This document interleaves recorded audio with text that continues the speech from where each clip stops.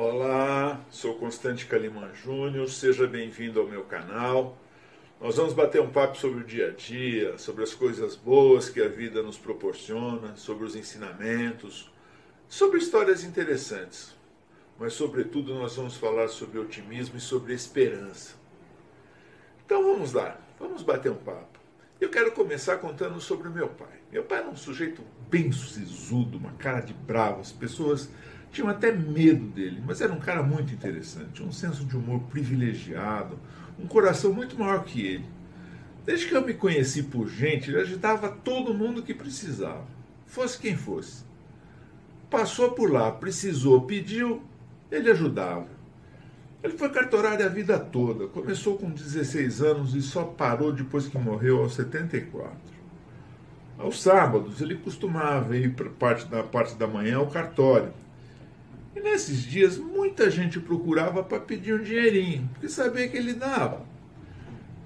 Entre essas pessoas estava o seu Manuel, uma figura ímpar, uma voz forte, muito rouca, já com idade bem avançada, moreno, com cabelos bem brancos, bem gordinho.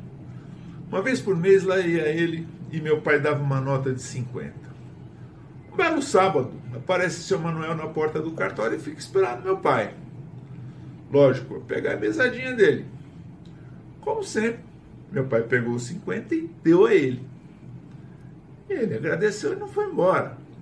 E meu pai perguntou: Tá tudo bem, seu Manuel? Tá precisando de mais alguma coisa? Aconteceu alguma coisa? Ele falou: Não, seu Constante, tá tudo bem sim. Mas acontece que tá faltando 50, porque o mês passado eu não vim. Aí meu pai, entre gargalhadas, pegou mais 50, deu a ele e do jeitão próprio dele, mais que natureza, hein? Vê se mês que vem você não falta, viu? Esse era meu pai, um sujeito maravilhoso, está fazendo muita falta por aqui. Então, meus amigos, sejamos bons sempre. Muitas pessoas dependem de nós, mesmo que para pequenas coisas. Nós sempre teremos alguma coisa útil para ajudar de alguma forma. Vamos fazer esse exercício? Muito bem.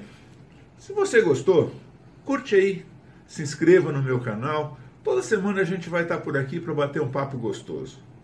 Fiquem com Deus e um grande abraço.